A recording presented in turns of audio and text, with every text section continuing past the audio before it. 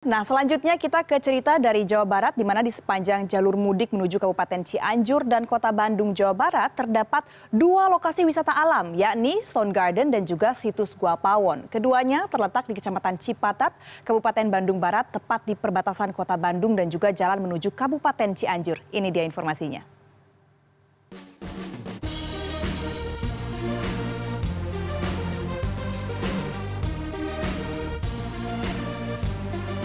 Untuk menuju Gua Pawon dan Stone Garden ada beberapa jalur yang bisa digunakan. Salah satunya adalah jalan tol. Masuk melalui gerbang tol Paster dan keluar di pintu tol Padalarang, perjalanan berlanjut sekitar 30 menit untuk mencapai kedua lokasi tersebut. Dan inilah Gua Pawon. Untuk masuk ke sini pengunjung harus membeli tiket seharga Rp5.000 per orang. Di sini pengunjung bisa melihat-lihat batuan purba, talaktit, dan stalagmit. Di situs Gua Pawon ini juga tim Balai Arkeologi Bandung menemukan tujuh rangka manusia prasejarah yang diduga merupakan penghuni Gua Pawon di masa lampau. Menurut Hendy, warga setempat yang menjadi pemandu wisata di Gua Pawon, situs ini merupakan peninggalan dari masa 20 hingga 30 juta tahun yang lalu. Kalau kita lihat di hadapan kita di sini ada semacam kayak terumbu karang. Adapun di sini fosil koral itu itu yang ada di kisaran Stone Garden itu menurut para peneliti terjadi Oligosen akhir sampai Miosen tengah. Nah terus di sini juga sebenarnya ada juga eh, salah satu yang mengarah ke bentuk hunian. Nah makanya di sini hasil karya dari para peneliti termasuk Balai Arkeologi Bandung Makanya di sini ada dua tingkatan, itu di 2003 ditemukan empat kerangka, tambah 2017 ditemukan tiga kerangka. Jadi total manusia yang sudah ditemukan ada tujuh kerangka.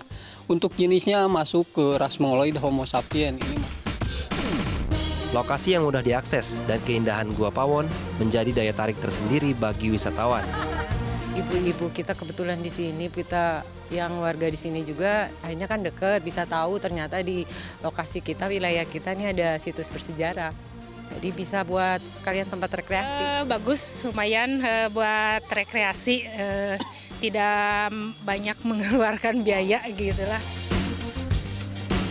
Lokasi selanjutnya adalah Stone Garden yang berjarak sekitar 2 km dari Gua Pawon. Harga tiket masuknya Rp8.000 per orang Diberi nama Stone Garden karena di lokasi ini terdapat batuan purba yang terhampar di atas gunung. Untuk menuju puncak, pengunjung harus melakukan trekking sejauh 1 km. Namun jangan khawatir, rasa lelah akan terbayar ketika melihat keindahan dari atas bukit di Stone Garden. Untuk mempromosikan wisata di kedua lokasi ini, pemerintah Kabupaten Bandung Barat dan pemerintah Provinsi Jawa Barat berencana menjadikan Gua Pawon dan Stone Garden sebagai National Geopark dan UNESCO Global Geopark dengan nama Geopark Raja Mandala. Ada beberapa perubahan setelah eh, kemarin juga SDM-nya dia ada beberapa persyaratan di situ, banyak persyaratan yang harus dilengkapi di masing-masing tadi pengusul.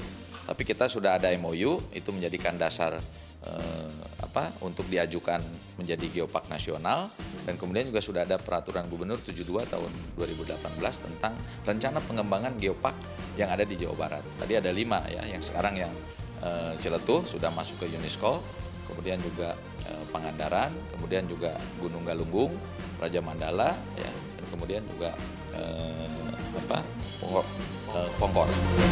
Jika Geopark Raja Mandala terrealisasi, maka akan menyusul Geopark Ciletuh di Sukabumi yang telah terlebih dahulu diresmikan sebagai UNESCO Global Geopark. Jika Anda mudik melewati jalur Cianjur dan juga kota Bandung, tidak ada salahnya untuk mengunjungi dua lokasi wisata nih, yaitu Stone Garden dan juga Gua Pawon. Selain menawarkan keindahan alam yang indah, lokasinya yang berdekatan dengan jalur mudik tentunya bisa menjadi satu alasan Anda sebelum Anda mencapai ke kampung halaman. Franky Wijaya, Helmi Negara, Kabupaten Bandung Barat.